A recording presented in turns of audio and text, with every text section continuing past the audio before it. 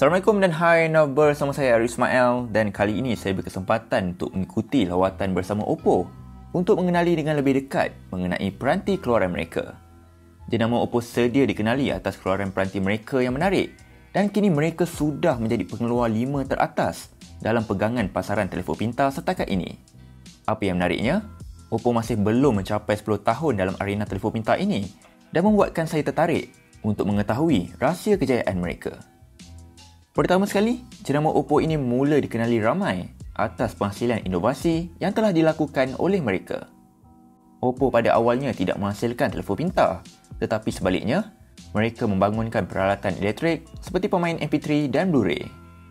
Mereka hanya memasuki pasaran telefon pintar pada tahun 2011 menerusi pengenalan Oppo X903 yang merupakan peranti Android dengan papan kekunci fizikal berasaskan rekaan slider.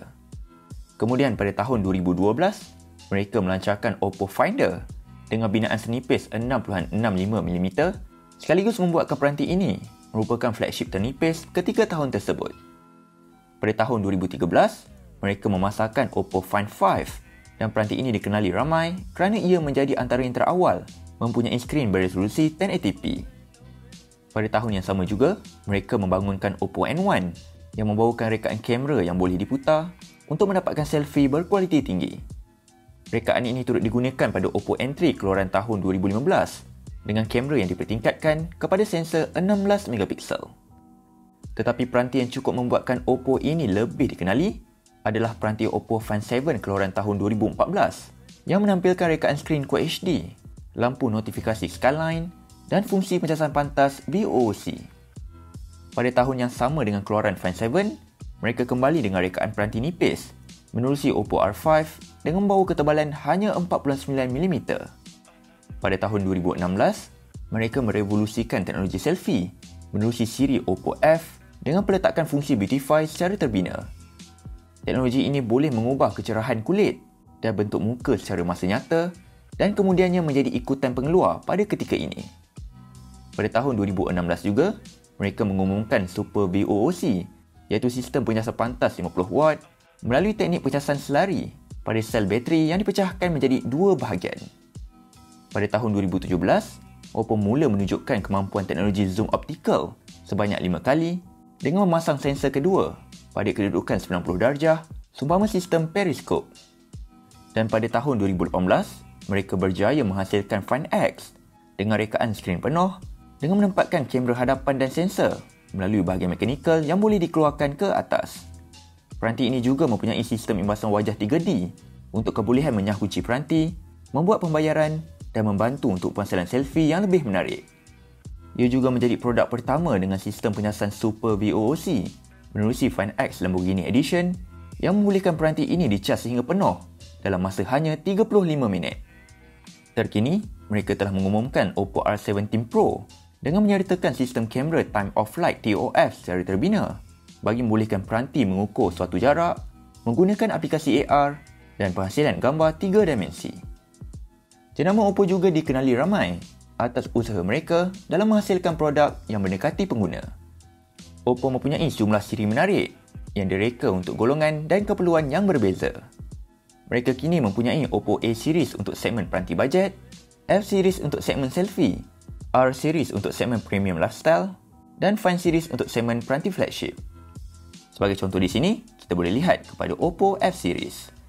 Siri ini agak menarik kerana ia membawakan rekaan dan fungsi menarik tetapi ditawarkan pada harga separuh daripada peranti flagship. Melalui peranti terbaru mereka seperti Oppo F9, ia hadir dengan rekaan yang elegan, mempunyai prestasi yang pantas untuk harian dan menawarkan keupayaan kamera hadapan dan belakang yang cukup terang. Bukan itu sahaja, ia juga membawakan memori 6GB RAM dan menyokong fungsi penyiasan VOOC melalui harga jualan RM1,399 yang cukup kompetitif. Bagi membawa jenama ini lebih dikenali, Oppo juga mempunyai strategi pengiklanan yang cukup agresif melalui penajaan dan kolaborasi. Di Malaysia sendiri, Oppo dilihat telah menaja beberapa rancangan TV utama seperti perlawanan bola sepak dan program reality.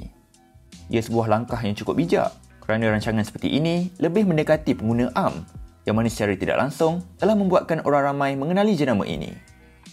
Oppo juga kerap mengadakan periklanan tradisional seperti di TV dan di papan tanda utama yang juga masih efektif sehingga hari ini. Tetapi apa yang menarik, mereka turut menjalinkan kerjasama bersama sejumlah artis popular dan kelab bola sepak untuk meningkatkan lagi kesedaran terhadap jenama Oppo ini. Oppo juga mempunyai ketahanan peranti yang cukup berdaya saing dengan pemilihan binaan yang bermutu dan mempunyai bahagian penyelidikan yang teliti. Melalui lawatan saya di China pada tempoh hari, saya berkesempatan untuk melawat kilang Oppo di Dongguan, Guangdong untuk meninjau sendiri beberapa proses penghasilan peranti ini. Ia bermula dengan proses pemasangan papan induk yang meliputi potongan struktur alat ini dan kemudian ia dipasangkan dengan perisian khas untuk menjana peranti. Setelah ia dipasang menjadi sebuah peranti yang lengkap, ia melalui fasa ujian kualiti yang sangat intensif yang mana meliputi ujian hentakan untuk menguji binaan fizikal peranti. Peranti-peranti ini turut melalui ujian klimat berasaskan suhu dengan menempatkan peranti pada suhu serendah negatif 40 sehingga 80 darjah Celsius dalam tempoh tertentu. Beberapa ujian lain turut dilakukan seperti ujian membekuk peranti, ujian keberkesanan butang pada peranti dan ujian yang meliputi aksesori seperti ujian untuk menguji port pengecasan. Untuk membangunkan peranti yang mempunyai binaan fizikal, alatan dan perisian yang berkualiti, mereka mempunyai enam lokasi R&D seperti di Dongguan ini sendiri di Beijing, di Shanghai, di Shenzhen, Yokohama dan Silicon Valley. Bagi membolehkan pengguna mendapatkan peranti Oppo dengan lebih mudah, mereka juga mempunyai kedai fizikal yang menarik untuk membolehkan pengguna mencuba peranti Oppo ini sebelum membeli. Selain daripada lawatan ke kilang, saya juga berkesempatan untuk melawat Super Flagship Store di Shenzhen untuk merasai pengalaman mencuba dan membeli peranti Oppo di negara kelahiran jenama ini. Ia menyajikan sebuah kedai dua tingkat yang cukup luas dengan keluasan kira-kira 600 meter persegi. Di sini, anda boleh mencuba beberapa peranti Oppo terkini seperti Oppo Find X dan R17 selain membolehkan anda menguji audio dan melihat rentak muzik yang dimainkan pada paparan elektronik ini. Anda juga boleh mengecas peranti di sini melalui bangku yang disediakan dan melihat peratusan bateri yang dicas pada cermin di kedai ini. Apa yang membuatkan kedai ini sedikit unik, ia juga menempatkan sejumlah alat teknologi yang ikonik seperti konsol, pemain muzik dan model kereta yang mana telah memberi inspirasi kepada penghasilan peranti-peranti di sini. Di kedai ini juga, anda boleh membeli sejumlah aksesori standard seperti alat pengecas dan case di samping turut membolehkan anda mendapatkan drone di kedai Oppo ini. Untuk memberi input kepada pengguna, mereka juga kerap mengadakan seminar berkaitan dengan peranti melalui ruangan yang menempatkan paparan gegasi ini. Secara keseluruhannya, super flagship store Oppo ini sedikit sebanyak telah memberi gambaran apa yang disajikan pada kedai rasmi fizikal Oppo di beberapa buah lokasi yang lain. Agak menarik sebenarnya kerana Oppo dahulunya hanya sebuah jenama yang menghasilkan peralatan elektronik yang kini telah berjaya menjadi sebuah jenama yang cukup dikenali di dunia. Dalam tempoh singkat sahaja, jenama Oppo telah menduduki tangga 5 teratas dalam pasaran telefon pintar dunia yang didorong daripada strategi penghasilan peranti yang cukup menarik mereka melakukan inovasi, menghasilkan peranti yang dekat kepada pengguna dan mempunyai strategi pemasaran yang sangat baik dalam membawa jenama ini lebih dikenali.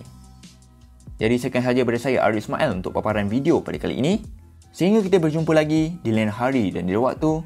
Sekian, terima kasih.